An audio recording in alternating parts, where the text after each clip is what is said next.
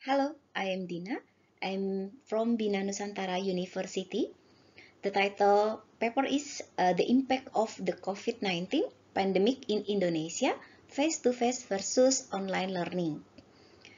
This work is supported by Bina Nusantara University through the Office of Research and Technology Transfer as part of the Bina Nusantara University International Research Grant with University Kebangsaan Malaysia or UKM entitled New Technology in Education Toward for Industrial Revolution, Case Study Indonesia and Malaysia.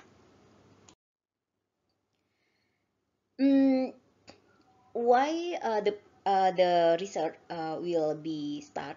Because uh, change in learning model, then change in the way of learning, change receive learning, change in communication and other. So we know well about COVID-19. Learning activity will be changed because uh, somebody uh, maybe uh, big uh, big area in Indonesia uh, or maybe uh, the world uh, not ready for uh, the chance. Uh, according from uh, Knoster uh, model for managing complex change uh, about the basic theory, the people tend, tend to be unprepared for change. So that activities are needed with clear stage so that uh, the change process can be, be well received and the transformation of learning to face into online is change. Uh, what the impact? Uh, maybe uh, first student out of rule, then student uh, cross the rule on maybe a student uh, uh, on the stage or on the rule. Model for managing complex change uh, say uh, that for uh, good chance, we have to uh, change for five uh, indicator for a full change. Vision, skills, motivation, resources, and action plan. Because if one of them uh, not support, not uh, chance uh, be done, so uh, will be happen conclusion, uh, then uh, frustration and etc.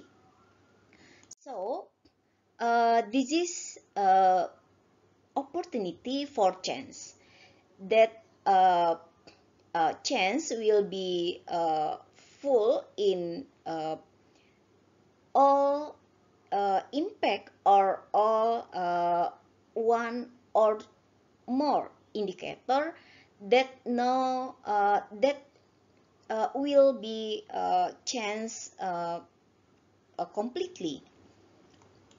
So uh, this is uh, will be happen and happen for for today.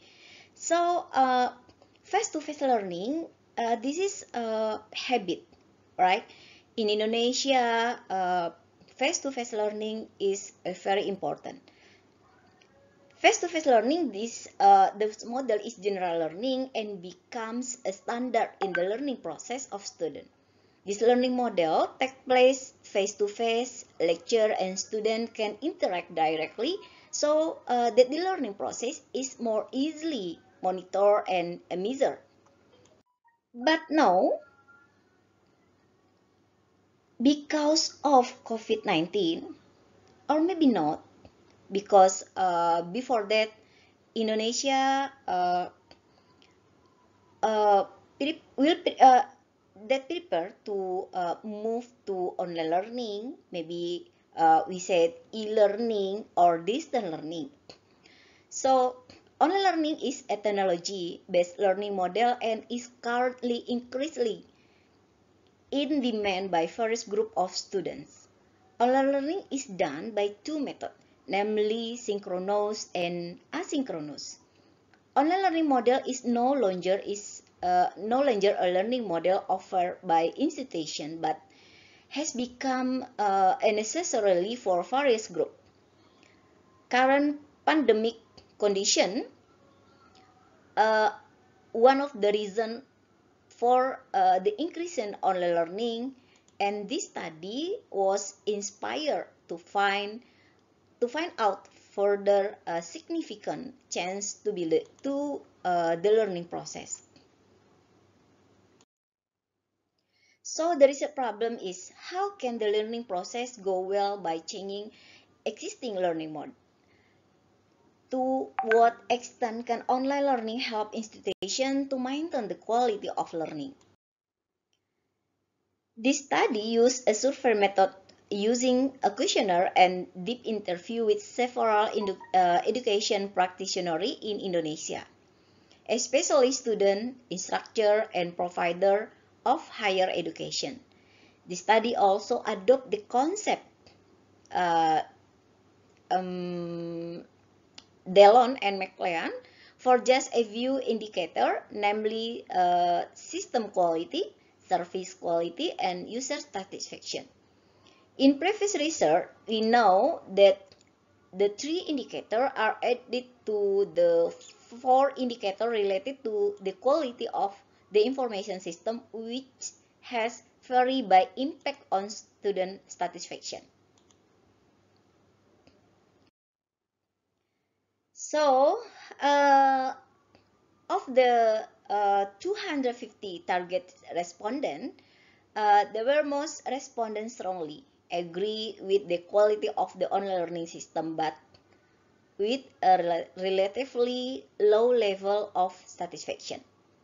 As well as services quality, this creates a gap that needs to be explored further.